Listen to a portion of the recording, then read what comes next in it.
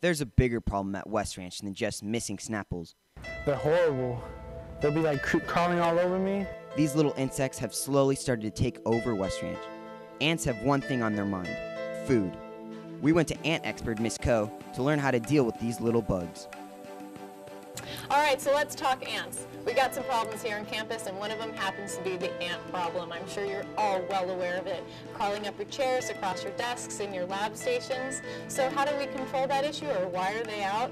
Big things that you guys can do is to help keep the grounds clean, put the trash in the trash can, because command lines, which are those nice long lines of ants form, um, when they start to leave their nest, they head out to areas where there's high levels of glucose, which is sugar, just in case you couldn't remember from biology. Um, they'll pick those up and they'll bring it back to their ant farm or their hill or um, their nest and they'll feed everybody which promotes birth and then it sends more ants out a little bit later on.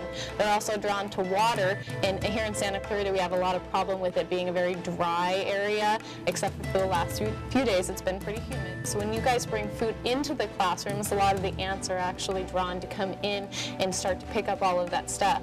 Um, also a big problem is the temperatures. When it gets too hot out there ants also get dehydrated the same way you guys do, and so they come into the classroom to um, get comfort. So keep it clean, West Ranch.